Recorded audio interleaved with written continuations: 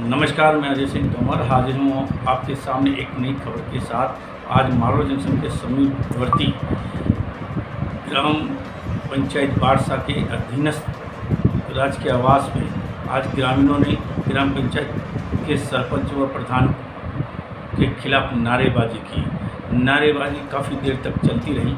ग्रामीणों का आरोप था कि प्रधान व सरपंच की मिली भगत से हमारे नाम को सम्मिलित नहीं किया जा रहा है, हमारा नाम नहीं आता है, हमारा नाम दर्ज नहीं किया जाता है। इस विरोध को लेकर ग्रामीणों ने आज नारेबाजी की। बारसा ग्राम पंचायत के सरपंच ओम प्रकाश बाबुरिया और प्रधान मंगलाराम देवा सिंह के खिलाफ जमकर नारेबाजी की। उन्होंने आरोप लगाया कि प्रधान व सरपंच मिली भगत से हमारे नाम नहीं लिखे जाते हैं और यहाँ तक भेदभाव भी किया जाता है नाम लिखने में। उनके अपने जो चहेते हैं होते हैं, उनका नाम वो लिखते हैं और यहाँ तक यह लोग राजनीतिक पार्टियाँ को देखकर ही नाम लिखते हैं कि कौन कांग्रेस का है, कौन भाजपा का है।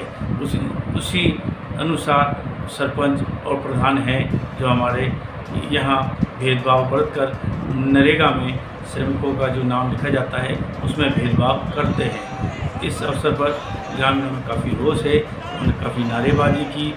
इस अवसर पर विजय सिंह, उदाराम मेघवाल, जय सिंह, रमेश डांगी, मोहन प्रकाश जाट और साथ ही सुहा देवी, पानी देवी, शांति, मनीषा सहित अनेक महिला एवं पुरुषों ने मौजूदगी रही तो आप देखिए कि किस तरह से कल मारवाड़ जंक्शन में, यानी हम आपको बता दें कि शनिवार को मारवाड़ जंक्शन में नरेगा कर्मियों ने अपने पैसा जो कम आ रहा था, राशि जो कम आ रही थी, उसको लेकर धरना प्रदर्शन किया था और कहीं ना कहीं अन्य कारणों से भी धरना प्रदर्शन उन्होंने विरोध प्रदर्शन भी किया था।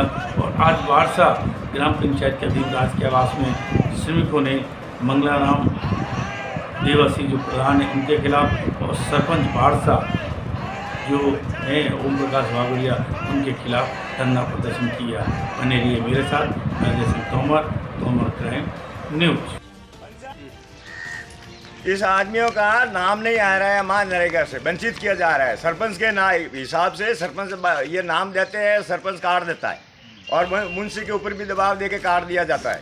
और प्रधान का और और दबाव डलवा के इन लेबर का नाम कटा दिया जाता है। बार बार वंचित किया जाता है इनको। करीबन दो महीने से इनका नाम नहीं आ रहा है। बार बार महीना